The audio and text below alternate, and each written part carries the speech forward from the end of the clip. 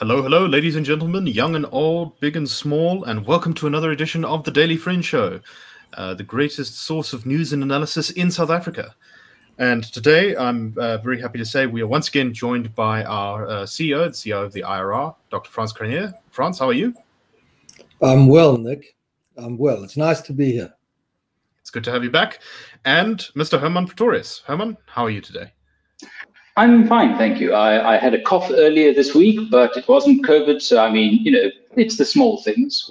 Yes, I saw one of our, our viewers was asking whether it was uh, possibly the early stages of COVID, but I'm glad to hear it's not. So the, anyway, the real um, danger is the real danger is Nick that tonsillitis and COVID have exactly the same symptoms. Just no, it's true. It's true.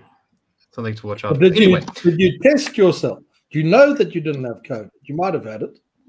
No, I know I had tonsillitis. I mean, I might have had both. I'm hoping not. well, well, hopefully you're adding our herd immunity then, Hermann. Um, mm. That's that's what we can we can hope for. But anyway, um, right. So we've been trying over the last couple of weeks. Uh, where, where we've been inviting Frans on to answer this question of what does South Africa look like after 2024. Um, and I, will put the description, the links to those videos in in the in the description. Um, but basically, at the end of our last discussion, we reached a point where Frans had been laying out six scenarios uh, for how the country would turn out we're at number six now, and that is well, Frans. Tell us about this sort of right. scenario. There you go. This is the answer. You suffered through two shows to get here. We've told you lots of things about the ANC and its trends and polls and public opinion and five other alternatives. This is number six. Because you've got the background in these first two shows, let's make it 2024. You sit there, you watch, and on that results board at the IEC, ANC score comes up and it's 40 something 48, 49, 45, 46, hard to say. It's in the 40s. These guys have lost. It's the end. The Great Liberation Movement, more than 100 years later, the, the, the, the new dawn was not of the ANC. It heralded in, but something's changed. And psychologically, that's a very, very important moment. So many people still, I did a session this morning for some, some foreigners. They still see South Africa through the prism of what the ANC will do with it. They, they concede the corruption, incompetence, costs of BEE, think the government's completely insane. But they, they, they still ask, what will it do? You need to get past that. So you have the psychological break where it the, the, the, the question changes to not what will the ANC do, but what will be done now. And in the immediate aftermath of that, there'll be some sort of coalition. Not necessarily, we've gone through the arguments, would it be EFF or whatever? There'll be some sort of coalition. But if you put together a coalition of shambolic people, you or, or B grade people, or or not great people, which is, you know, unfortunately the thing, you, you don't get a you don't get a great result by, by putting a, a group of, of sort of hopeless politicians in one tent together, you don't get the opposite of hopeless politicians. You, you get a, another big mess. And we suffer through this mess. All the while, public opinion may, remains moderate center right, which is what it is at the moment. It stays that. And you take, it takes only one philanthropist to decide this is a total disaster and I'm prepared to put a billion rand behind something fundamentally new, not digging up old Thabo Mbeki's administration, as someone asked us about recently. Could they save us? Can't they? They help put us where we are. They're not going to fix it, and and and etc. Billion rand or two. Now that's the amount some philanthropists donated to the to the mask and face shield fund for COVID. It's easy to do, lots of rich people in the country. You take that behind a management team that sells a message that sits to the center right of the political equation where it will resonate with the rank and file. It's brand new. It's a brand new leadership. Its chief political lineup are people who are not career politicians. They don't need to be. They've, they've gone into service of the country by joining politics. It's really sort of movement of, it, it, it will have a strong sense sort of black conservatism behind it, which is deeply ingrained political philosophy in the country. It goes all the way back to the black consciousness tradition. Which, which, in the sense of black man, you're on your own, and I write what I like, is is is is in the essence of it not fundamentally different to classical liberalism or what sort of conservatism in the West. With a vast amount of money behind it, because money and political success go together. It's a fact of how things how things work. Vast money behind a center-right movement. You fill the political vacuum. That vacuum is so big, as we said in the previous shows, that there are now more people who are eligible to vote but don't than the number of people who vote for the ANC. This thing is new. It is not the old guard coming together. Some of them will join it in some form of coalition. The public will be so relieved to see there's something new and sensible, not this old tired variations on the theme of the ANC's approach to governance. Unites black and white together. It triumphs in the in it grows in stature into the election of 2029. It triumphs in, in that year and it leads South Africa with great success into the 2030s, where we replicate the high growth rates, improving living standards, and general all round uh, uh, goodness of some of what we experienced in that first decade after 1994. That is the sixth option. That is South Africa's way out of trouble. I think it's the most compelling it's not as far fetched as you think. I must emphasize this. You think it's too far fetched. Oh, it's a dream. It will never happen. Make it practical. Public opinion is right for it. This is what people want. They're not all a bunch of crazy left wing lunatics that read the Mail and Guardian. They're good, hard-working, decent, sensible people who just want the chance to get ahead in life. The state and activists deny them that. Number one. Number two, the ANC is sinking. It is sinking. It's getting less support. You can measure it. And, and this budget of today is such a complete disaster. Running out of money always brings governments down. That there's, I mean, some of the business press will be polite. Oh, they tried to balance it and maybe they'll get the debt curve down. It's a lot of nonsense. It's impossible. With the policies, the, the greatest policy of the government on, on the agenda is expropriation, which is essentially a tax increase to 100% on capital investments in business. This is going to reduce the deficit. It's not going to do that. This is this is silliness. It's not going to happen. So the ANC is on its way out. The moderation's there. We remain a free society. The three of us can say all this, this, this very uh, provocative and counter-revolutionary stuff. Probably not going to be dragged away by the police tonight. Probably couldn't find us if they'd looked for us. And um, you add those factors together, this is not as far fetched an outcome as people think. And the trigger for it will be ANC defeat, because that I now think is necessary just to get influential people to think outside of the narrow confinement of acceptable opinion that ANC hegemony has forced upon this country over the past 20 years. So there's finally three shows into the third show. There's the answer, Nick. Uh, what, what do you make of that? Okay, so I, I just have a number of clarifying questions. The first is when you say center right, could you just say I don't know, like the four positions that'll sort of headline this party? Like what what what kind of will define it as being center right? Uh, you, you you can do what you like as long as you don't hurt another person.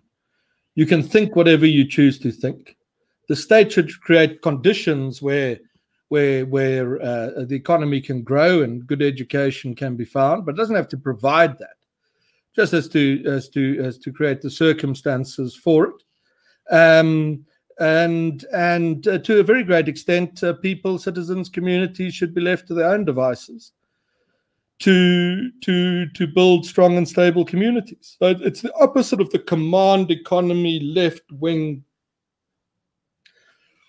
sort of a thing that's seen in South Africa. The number of people with social grants or the number of social grants paid now exceeding the number of jobs in the country, as one of our viral on WhatsApp charts suggested. And, and if that was such a wonderful thing, like such a Valhalla, we've now got more grants, more welfare. I mean, I can, just see, see, see the left wing of the Democratic Party in America salivating at the prospect. Can you achieve such a great thing? We can have more welfare in America than jobs. Will, if that's such a so wonderful, why is the ANC getting smoked after it's achieving that? Because it's not right. so wonderful. It's not what people want. It's what sociology professors suggest and the Mail and Guardian people want, which is about as far from reality as you could possibly get without a complete suspension of disbelief. The the so this is it's it's a capitalist society, in other words, with a small and effective state where people are left to get on with with, with what they do best. Um, uh, that, that, that's it. There, there's a, still a state. We're not libertarians, like our some of our. Well, we have a, perhaps a fringe that hangs around the sort of corners of the organization. But we're not libertarians. There's still a welfare system. It's very important. Desperately poor people are helped. There's still empowerment policies. But empowerment policies help people get education and, and help uh, uh, uh, uh entrepreneurs get going. Empowerment policies don't segregate the country on lines of race and pour billions of rands into the hands of the black elite on behalf of sort of a, a sort of on, on behalf of, of, of millions of poor people. I mean, that's not empowerment. So, so this isn't some sort of libertarian uh, uh, independence movement anything of that nature. It's really, Nick, not very far away from what uh, Mandela set up under GEAR in the 1990s. Uh, you know, it was written, the ANC wrote on GEAR that social development must be funded through growth and not through borrowing. Its own words. Now, what you heard today in the budget is whatever, I mean, the man said in practice, it's, it's through borrowing and not through growth. I mean, they, have turned 180 degrees. Just simple, pragmatic, get the state out of things where it has no place to be, create a, a circumstances for prosperity, uh, support the poor, and let people get on with it. That's what it means. That is center right in the world today. That's what's called neoliberal right wing, all those slurs. It's actually a damn good thing. And it is, we can prove it, what the great majority of South Africans want.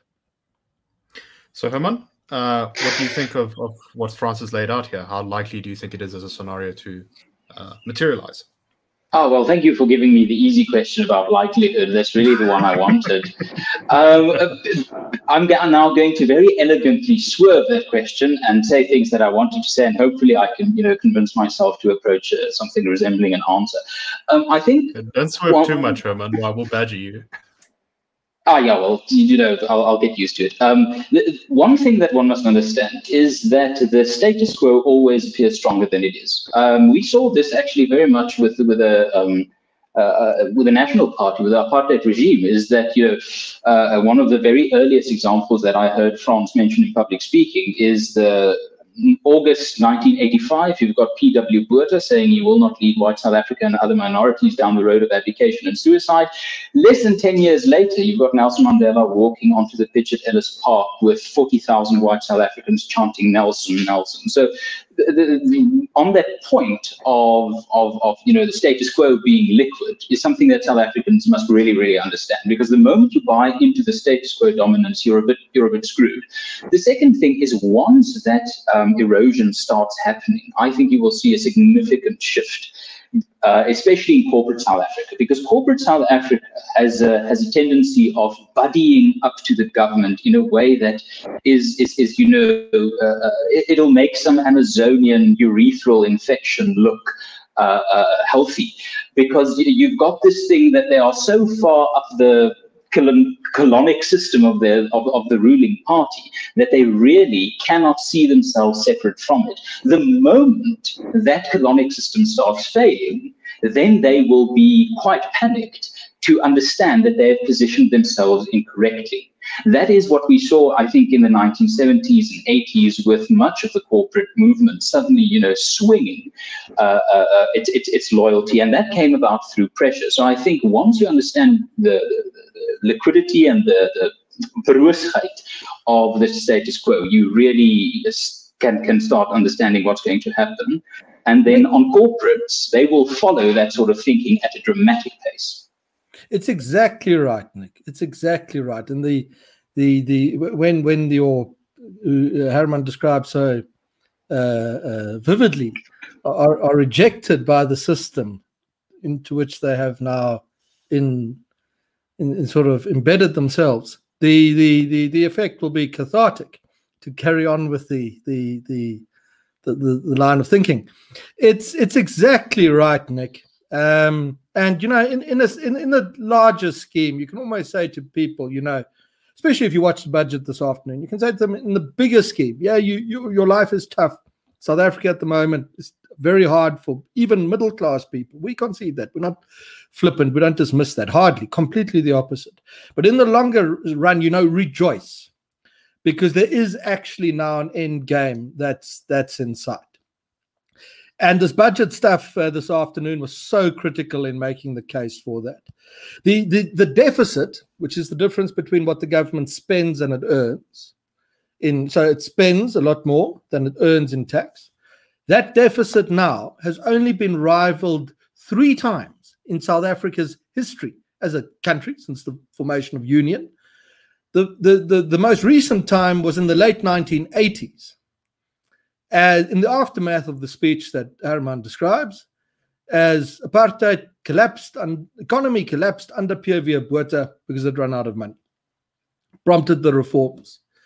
To go back to when we were last at such a deficit, you have to go back to the administration of Smuts, who was defeated in the context of the very deep deficit, equivalent to today, ensued from the Second World War.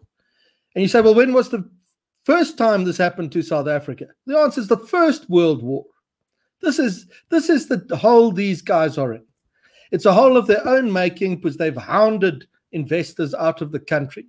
And the effect of that is rapidly becoming the faster the ANC doubles down on its policies, the more enthusiastic it gets about expropriation. The effect is that it just cuts off huge avenues of revenue into the state chases people. The finance minister, who's got his merits, said uh, in the run up to this speech that he thinks most whites are racist. Now, these are people who are paying a significant amount of the tax. That's the only thing keeping you in power.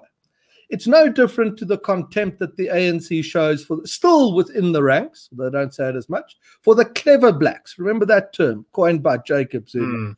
Mm. These guys are at the end of the road now. They're creating every opportunity to drive them out of power uh, because their policies are doing that. I, I, we wrote in a note earlier today that the ANC is bringing about its own demise and the deficit through its own policies faster than any organization with malicious intent towards it could possibly do. There's a, a chap, uh, I don't know if he wants to be identified, uh, said recently, along uh, some time back, over but but recently in the greater scheme of things, that that you know, in, in government, the ANC has done more damage to the country's electricity network than it was its policy. When it was its policy to blow it up. This is where we're headed. So if you've got that longer term sense, hang into South Africa now. The window for change is opening very quickly. We still have to take advantage of that. It's not just happens on, don't sit on your ass and it happens all on its own. It takes vast amount of citizen activism to put pressure on influential people to bring about the circumstances to ensure the next transition. But if there is going to be a next transition, we're damn close to it at the moment. And it's our best and only chance of, of 10 years from now, five years from now, sitting in a position on a show like this, we could tell our viewers with great sincerity things are definitely starting to look up. The potential for that is there now more than it's ever been before. It's actually very exciting. It's actually very invigorating. And, and, and, something some, something that, that, that, I have to add here is that that is going to require that we're going to go past that we have to go past this nonsense of I'm staying. No, I'm I'm staying is probably the most frustrating hashtag or theme or social media idea that I've seen in the past few years. It's the ostrich way of really looking at the future of South Africa we must go from beyond I'm staying to I'm I'm standing for something. Um, and, and it's sort of sad that our opponents in the battle of ideas um, understand the power of ideas far better than we do. I mean, there's a reason the fascists always shoot the authors and the thinkers and burn down the libraries first, because they understand the moment people start to popularize or envision a world without their ideas, it's the that's the moment that erosion kicks in. And if you look at the polling of R.W. Johnson in his brilliant book, Fighting for the Dream, that is uh, 2019, I think, he makes the point there that even a majority, more than 50% of ANC members, want more market-based economic policies. So when Frans says, you know, public opinion is ripe for it, people cannot dismiss that um, because if they do dismiss that, then they are buying into this idea that the status quo is dominant and change is uh, is, is not possible. And and the last point, perhaps, I think if you're frustrated at the state of South African politics, I think it's a general rule across the world that good governance breeds good opposition. Bad governance beats bad opposition. So that's a cycle that this new entity, if it if it materializes, will need to break. Yeah, no, so, I got so excited, Nick. I threw my microphone on the. um, I, I the, think that's what you call a mic drop. I'm staying at what I'm staying. You know, it, it's it's it's if if I'm staying, I'm staying can be dangerous because it's kind of it, it can say I'm prepared to put up with all this crap as long as it takes. If I'm staying means I'm going to fight these people and these terrible policies that cause such harm to the poor and the downtrodden and everyone else, then it's very enabling. But uh, but as you said it, Hermann, I, I recall the image I was sent by a friend of a, a, young South African at, at a protest in London with her "I'm staying" T-shirt on, and I thought that that, yeah. that kind of does it. I don't have one, and I'm I'm speaking to you from South Africa. Uh, so that kind of sums it up, doesn't it? Yes. So, so there's two things uh, as, as a kind of way of pushback that I want to uh, see, see if we can get through in eight minutes. Here's the first one. So we've seen sort of attempts by forces outside of you know the general political class or whatever to to kind of push their way into politics and set up something. Um, of course, currently we've got Herman Mashaba's party is probably the most prominent of those. Um, from my personal experience with working with Mashaba, I'm not too optimistic as to its ability to succeed, but they seem to have been taking actually a lot of what you're saying on board. They're trying to market themselves as center right. Um, so I, am assuming that they're not going to really make it, that they won't be the, the unit that you're looking for. Uh, I guess my question is where will these the leaders of this movement come for? A lot of very skilled and talented South Africans have left the country or are sort of semi-invested in other places. Um, can you think of someone off the top of your head you know, no, you mustn't. Movement. Mustn't try. The moment maketh the man. Uh, that's how this stuff works, or, or woman. Um, it, that's how this stuff works. At the end of apartheid, you wouldn't look far ahead and and so oh, it's definitely F. Yeah, he's going to be it. There were many others that were greater likelihoods. You when, when uh, China was attempting to escape from Maoist oppression, have, have picked Deng. Obviously, it was Deng. And a famous study, in fact, a case study of this very phenomenon in the scenario world, which some of you know is, is, is where I spend some of my time, is of a scenario team of great prominence identifying in the 80s that a man by the name of Gorbachev was very interesting. And that if he had his way, it could bring an end to the Cold War. And this team was so prominent given its success in predicting things like oil prices that they were asked to brief the CIA. And the man, the leader of the team, recalls that when they said to the CIA that the Cold War will end and this man called Gorbachev will do it, the CIA said to them, uh, You don't know what you're talking about because you don't have the facts. Five years, that's a quote. Five years later, Reagan stood next to someone called Gorbachev and said, Mr. Gorbachev, tear down this wall. It's the end of the Cold War. So don't try and call people, can't say this to me too. Well, who is it? I mean, name the chap and let's go and see him. It's not that. It's the circumstances that create it because the whole mood changes.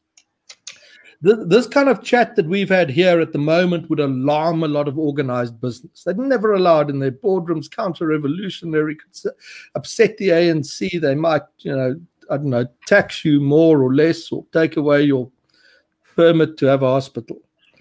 When that changes, that sort of imprisoning of the mind, which which is triggered by the defeat uh, of the ANC, eh, the whole game changes. Suddenly, there's massive corporate support for this. We've got a long history as an organization. I've been there a long time, but I wasn't there during apartheid because I'm too young. But my, my colleagues of that era recall that part of the reason apartheid survived is because the business community in South Africa supported it so very strongly. But sort of hmm. one afternoon, oh, they saw the light. It was wonderful. Where who is this? Uh, where do we meet Mr. Mandela? And how do we sign a BEE deal? Became the the the the, the approach. It turns like that. The circumstances will create the individual. The individual will take advantage of the circumstances. You must just make sure that that the ideas, if you which way do political transitions go? Because they happen all the time. Crises cause transitions. And we now have one. The budget speech was about as deep a crisis any country could ever find itself in, regardless of how the minister cast it with his you know, cactus plant that's more or less alive, or whatever the poor thing is at the moment. uh, we could get a, if, if you got a sort of foreign cactus plant, it would be a quite a good sort of description of where a lot of the South African economy has gone. Um, a bonsai. Well, yes, well, it's like a it's like it's like a dead bonsai tree. It really is terrible. But but you, we're not flippant about it. It's just that it is so terrible, Nick. How badly South Africa is governed that if you don't sometimes try and see the amusing side of it, you'll go crazy. The the you get the which way does the transition go? It's not left to chance. The direction of a transition after the catastrophe always follows who had the greatest influence on public opinion in the run up to that transition. That's why 94 was such a success relative to, to what apartheid had been. And socioeconomically, was a success too. And we became a free country. Look at the things I'm able to say this afternoon. You can't dispute this stuff. That's that's how you determine it. So don't sit back. Don't be complacent. Don't think someone else is going to do it for you. You've got to get involved, but you've also got to understand now that we are closer to the solution. This comes from us. We're not the good news guys. We're not the people who ever told you South Africa is great because someone in Worcester baked the biggest chocolate chip cookie in the world, which is the kind of stuff that appears on the good news websites. We're, we're, we're, we're hard edged. Mm-hmm cautious analysts. But the way we read it now is an incredible window of opportunity has begun to open, and one that could very easily lead South Africa into a great future. But the means by which we get there will be completely different to what the great majority, almost without exception, of diplomats or business people or journalists, whoever it is that I speak to, think they don't even understand what the real option is. This is the real option. Can work can work very well, Nick. So Hermann, um, I do want to ask one last question. We don't have a lot of time, um, but this is something that keeps coming up in the comments, and this is a theory that there's a seventh scenario, and that is that election comes 2024, the ANC knows it's going to lose, and so it's deployed all of its people into business and, and, and the IEC and everything else, and it steals the election and it bunkers down into a more authoritarian state. Why is that not going to happen? Uh, Hermann, you, you can, like can, can I, Can I perhaps? Yes, I, I, just need to jump in here. The two. Let's look at the Zimbabwean uh, example uh, of the 2008, I think, elections, um, where international observers told Morgan Tsvangirai personally, "You are winning this election, but the results, the results are telling you you're losing." And Tsvangirai didn't make the move then. He had a window of opportunity where he could have done something. Why? Because he wasn't sure whether he had the popular support. He wasn't sure whether he would get the buy-in from the people to challenge the legitimacy of the election. So even within that nightmare scenario, you end up in a way that the only antidote to it is the battle of ideas, making sure that the ANC will be so out of step when it steals an election, that its legitimacy will be significantly compromised in the mind of the citizen. And if I may yeah. say a very brief thing, Connie Mulder was supposed to be leader of the National Party. He didn't become it. Um, if the circumstances, um, if, if, if we have to go out and find that leader, then that leader is not the right leader. The leader is the person who will themselves identify the moment that is necessary. If we have to approach someone, by definition, that disqualifies them because they wouldn't have seen the opportunity. No, the answer, Nick, is Zimbabwean civil rights activists left far too much to chance. Uh, not nearly enough was done to shape the institutions, the climates of opinion, etc., to deny those options to the Mugabe regime. Same naivety as here. People think it can't happen, won't happen. You've heard it a hundred times. The constitution so wonderful. Uh, we can't have a crooked election or the constitution was so wonderful, you also couldn't steal whatever it was, X billion rands of face mask money, or whatever was stolen. Uh, to to to you couldn't have Jacob Zuma. That wouldn't be impossible. He'd be in jail at the moment for contempt if the constitution was so wonderful, etc. Uh, etc. Uh, et so no, you've got to make sure that you have the organized citizenry and activist and think tank infrastructure in place, that you cut off those options uh, to to ruthless politicians. And Zimbabwean activist community and the people around them, frankly, didn't work hard enough to make sure that that was the case, and therefore they lost. This is what can be different in South Africa's case, and why on, on the South African side we can win we can win the the, the, the this this this issue. So, in other words, something to guard against. Yeah, eternal vigilance. You know the quote. Yeah, is the only don't, guarantee of liberty. Don't think someone else is going to go and do it for you. Right. You know, if you're not actively in this game, you're actively taking. You're just an observer. You're not part of the solution at the moment. Get in the game. Hermann's got a WhatsApp number there over his shoulder. Send a WhatsApp. We're one of the players in that game, and we're actively working to bring about a better country. We need your support. No one else helps us do this. Not in, get in and join. If, so if it's also just for yourself. It's such a terrible thing to look at the country today and see what could be. It's vastly empowering to take a physical step towards making it better. Do that now today. You will feel better about yourself, and you will join the the the the, the, the thousands of other people who actually decided they're not going to just let events wash over them. They're going to take that first step towards influencing the future trajectory.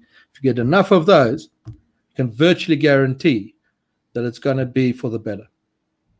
And two things. Well, afraid, uh, afraid, uh, very, I'll be very quick. I'll be very, very quick. Very quick. Before you, very quick. before you before you win the vote, you must win the argument. If you look at battle of ideas movements throughout history, that one, you look at the Christianity, you look at the abolitionists. Those were people who became involved.